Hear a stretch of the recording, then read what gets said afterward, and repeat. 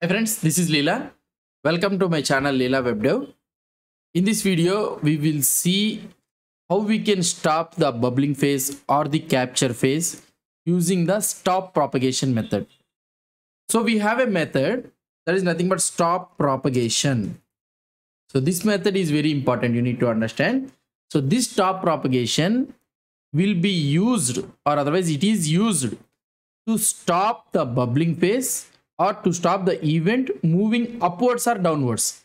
So here downwards is the capturing phase and upwards is the bubbling phase, right? So you can use this stop propagation to stop the propagation, whether it is moving upwards or the downwards. I will try to show you a simple example. Here we are having an HTML and let's say that I am having a div id is equal to, I'll take the same example 3a or uh, 3a or something like this. Okay.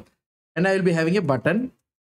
So button 1 so this is the button and id is equal to button 1 this is our button. Let's go to the script tag.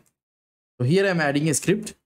First cap let's capture the button element. Let button is equal to document dot get element by id of button 1 so this is our button. Okay this is our button. Now we got the button. Now what i want to do? Button dot add event listener of click event and I, I will try to fire the console.log button click. So this is the method I am trying to. So this one needs to be fired in the capturing phase. So that is the reason I am adding true. Let's see the output. If you try to see the output for this one, what will happen? So this is our uh, button one. If I click on this one, button clicked. So we are able to see it. But this one is firing in the capturing phase, not in the bubbling phase. Now, for example, let's say that for this div element, let div element is equal to, I will try to take it this one, document dot get element by id of 3a, right? 3a. I have took the div element and for this div element also, I am adding the event listener. So div element dot add event listener of click. Sorry, of click so here I will try to do something like quit event or anything. So quit event. And this one also needs to be fired in the capturing phase. So fine. Let's try to have function quit event. So this one will get an event. And here we are having a quit event. And in this one, what I want to do, here I will try to do console.log div element fired okay so this one is fired so this one is also capturing capturing this one and this one is also capturing. Okay so in the capturing phase it is firing. Now if you see the output first what it will try to fire? It first when you try to click on the button it will fire first the div element. Why? Because it needs to capture right? It needs to come from the top to bottom. So first div element will uh, appear and the div element it has a event listener which should be fired in the capturing phase.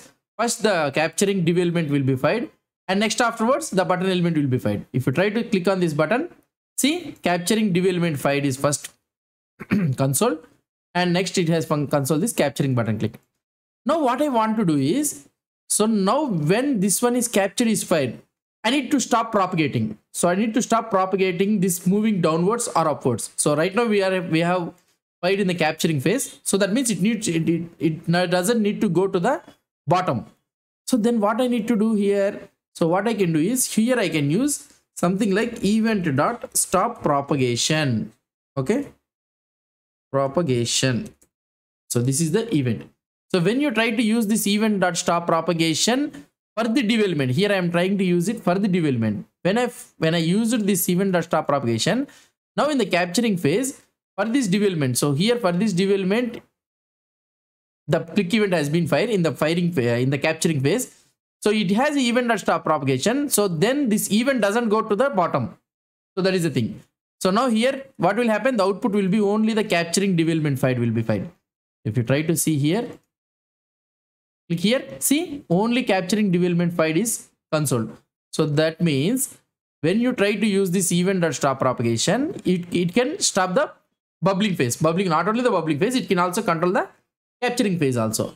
For example let's say that uh, this uh, event listener div element listener will fire the event in the bubbling phase not in the capturing phase So when it is trying to fire it in the bubbling phase, so then what it will happen? So first div element, it will try to check that event listener is there or not in the capturing phase. It is not there. It is the event listener is there in the bubbling phase. So then the button, whether it is there or not in the capturing phase. Yes, it is there. The capturing phase, event listener is added. So now capturing button click will be fired.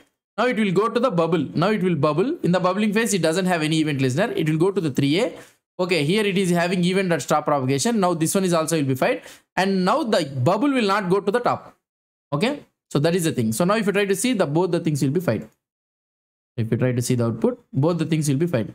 For example, in any case, if you are having here in a such a option that you, know, you are stopping the event dot stop propagation. Let's assume. So here i am I using event dot stop propagation.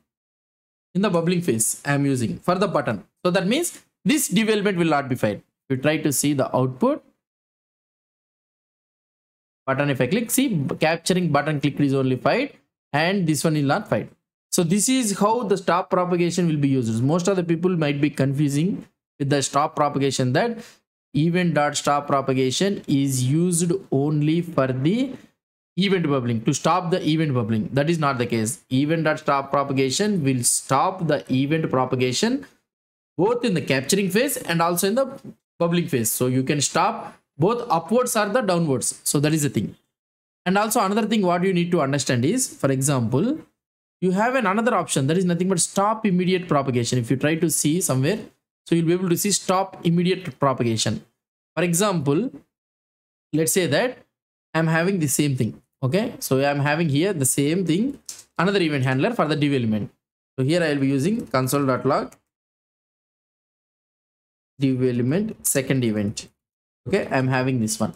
So for this quick event, quit, uh, quit event, I have used stop propagation. Okay, for if I use stop propagation, will this event listener will be fired or not?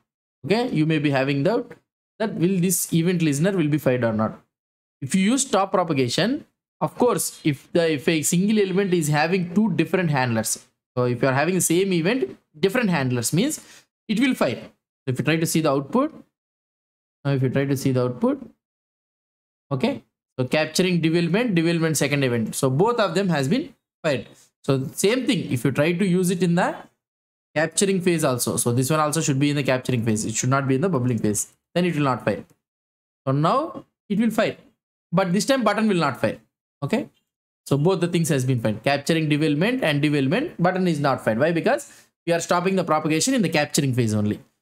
Now if you want to stop for example you have fired this quit event and i want to immediately stop all the events all the event handlers for this element means then you need to use stop immediate propagation.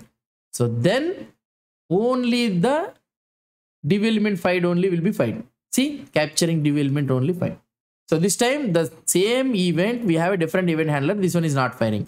So this is the difference between a stop immediate pro propagation and also a stop propagation. So this is all about the stop propagation thing. How we can stop the bubbling or capturing phase for an event if you want to do it means we can use it using the event dot stop propagation. Or otherwise if you want to stop all the events all the different event handlers for the same element means then we need to use the stop immediate propagation. Okay? So hope you understood about this one. If you have any doubts or any suggestions please post the comments below to this video. And if you like this video please do support me by subscribing to my channel. Thank you